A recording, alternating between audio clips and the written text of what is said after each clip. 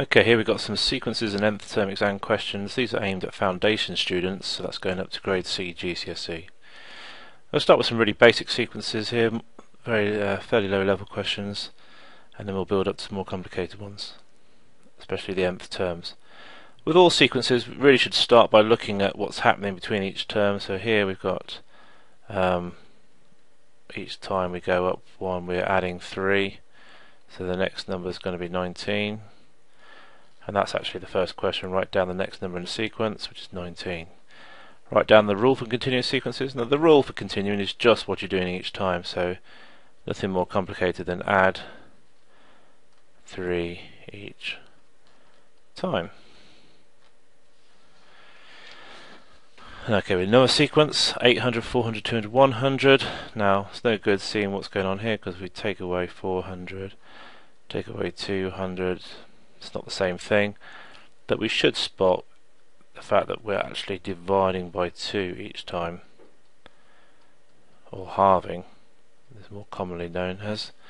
So dividing by 100 by 2 we get 50 which is the next term of the sequence. Write down the rule for continuous sequence. We can either write divide by 2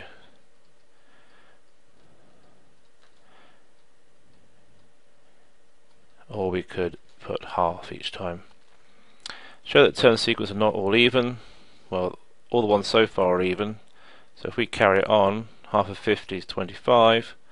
And because 25 ends in 5, that's not even. So next term is 25, which is not even, but odd. Okay, another question. Another uh, question here. The first two terms are 2 and 8. We've got a rule to continue the sequence, which is multiply by 3 and add 2. This is called the term to term rule. So as I'm moving from one term to the other, I'm multiplying by 3. 2 times 3 is 6, and then I'm adding 2 to get 8. 8 times 3 is 24, add 2 is 26. 26 times 3 use a calculator for this. Um, it's going to be 78 plus 2 is 80. So the next two terms of the sequence are 26 and 80. The to turn rule for a different sequence is multiply by 2 and add 4. Now this question is worth 4 marks because this is quite tricky. But to get uh, to go from this term to this term and then this term to this one, we are multiplying by 2 and then adding 4. Multiplying by 2 and adding 4. Now we could try lots of different values um, but the actual answer for this is not going to be a nice number. So we need to really work backwards. So if we're timesing by 2 to add 4 to get to this one to get back the other way we need to undo what we've done. So we need to take away 4 and then to undo times by 2 we've got to divide by 2 so 6 take away 4 is 2 divided by 2 is 1 and do that again Six, uh, 1 take away 4 is minus 3 and minus 3 divided by 2 is minus 1 and a half or 1.5 okay so we're going from 6 take away 4 equals 2 and 2 divided by 2 equals 1 and then we're doing 1 take away 4 is minus 3 and minus 3 divided by 2 is negative 1.5 or 1.5 so the answer is minus 1.5. You would probably get uh, half the marks of getting to 1 because you're doing getting halfway there. Okay, here's a sequence. Um, again, always look to see what's happening here. So we're adding 6, adding 6, it's staying the same. Each time to add 6, write down the rule for continuous sequence.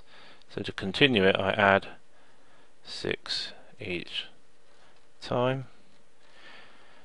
The 50th term of the sequence is 302. What's the 48th term of the sequence? Well, if I'm starting over at 302, each time I'm adding 6. So what must I add 6 to to make 302? That's the same as taking away 6 to get 296. 6 off 302 296. Take another 6 off. That's 290. And this is the 50th. So this is the 49th. And this is going to be my 48th term. Okay, so my sequence, working back from 50, take away 6, take away 6, gives me the 48th term equals 209. 90, sorry, 290. Write down the rule for the nth term of the sequence. Okay, so this is the first time we've seen this nth term idea. Now the nth term is the rule if I wanted to know any particular number of sequence, say if I wanted to know the 50th term and I didn't actually know it was 302, the nth term rule will allow me to put the number 50 in and know what to do to that to find this 302.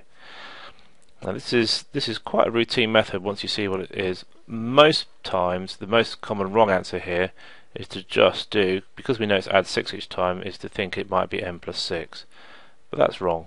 What we need to remember here is because we're going up by because we're going up by 6 each time, this is based on the 6 times table, which is this sequence. Okay, the 6 times table, 6 times n, n times 6, or more properly written as 6n. That's the best way to write it. Um, so that's the 6 times table. What I've got to do to the 6 times table to get to this particular sequence, well I've got to add 2 each time. Add 2 to 12 I get 14, 2 to 18 I get 20, and that works for every number in the sequence. So 6 times 50 is 300, plus 2 is 302. So it's the 6 times table, 6 times n plus 2. I can write that as n times 6 plus 2 more um, clearly written as 6n plus 2. What you mustn't do is to write n6 plus 2. That would that's that would lose you the mark for that part. There's one mark for the the plus 2 and there's one mark for the 6n. Okay, another sequence. First two terms 5 and 4. The rule is multiply the previous term by 2 and subtract 6. So times 5 by 2 is 10 take away 6 is 4, 4 times 2 is 8, take away 6 would be 2, um, 2 times 2 is 4, take away 6 is going to be minus 2, minus 2 times 2 is minus 4, take away 6 is minus 10. What's the actual question? But the work, here's this, work out the first negative term of the sequence. Well, the first negative term is minus 2 for 2 marks. Here are the first three terms in, an, in another sequence. Um, 1, 4, 7, so this is going up by 3 each time. So the nth term of this sequence goes up by 3 each time, so that means it's based on 3n, 3 times table, 3 times n.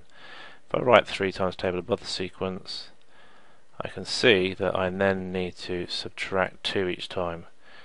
So all these numbers 3 times table, take away 2 gives me the sequence I want. And that's that one there.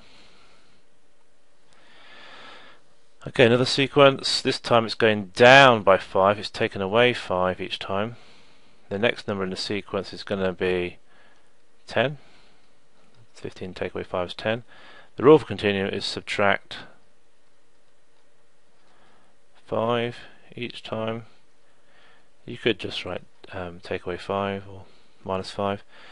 Uh, which of the following expressions is the nth term of the sequence? Well, because it's going down minus 5 each time, this is based on the minus 5 times table. So if I write that out, just above there, and see what I've got to do to that to get to here, well, minus 5 plus 5 is 0, plus 35, so that's actually plus 40. So I'm adding 40 to 10, minus 10 to make 30, 40 that's, is 25, and so on. So my rule is the 5 times minus 5 times table plus 40. Okay, but that isn't here. We've got 5n minus 40, um, or we've got 40 minus 5n. Now 5n plus 40, sorry, minus 5n plus 40, this can be rewritten if I can switch these round. As long as I keep the sign with the number, so the 40 plus 40 and minus 5n, that gives me this one, because 40 is plus 40. Okay, one more we've got to draw a pattern, draw the fourth pattern. So we've got two, one, two, three U's going that way, so we're going to make that into four U's going that way and then coming down one, two, three and one more makes four number of matchsticks, well I could count those but this is a very straightforward sequence it's going up by four each time so that's going to be 15 and that's going to be 19 uh, the number of sticks in pattern N well it's going up by four each time so that's the four times table. Oops let's, put it there, let's put it down here. 4, 8, 12 16 and you can clearly see I've got to take away 2 that's the 4 times table 4n and this sequence is 4n 4 times table times table take away take away 1 4 take away 1 is 3 8 take away 1 is 7 so it's 4n minus 1 there we go okay one more question now this is part of a question um, sometimes this sort of question is embedded inside other questions uh, I'll just quickly run through this first part. Two boxes are stacked. This is the height of 68. Then we get three boxes. The height is 76. So this is building up a sequence where each time I put a new box in, it's going to go up 8. So one, one of these um, would be 60. So it starts off at 60, then it goes to 68, then it goes to 76, then it goes to 84, and so on. So it's adding 8 each time. So this sequence is not n plus 8, which you might think because it goes up by 8 each time. It is based on the 8 times table because it goes up each, each time. It's based on 8, 16, uh, 24, 32, so on. Now what have I got to do to this 8 times table to get these numbers?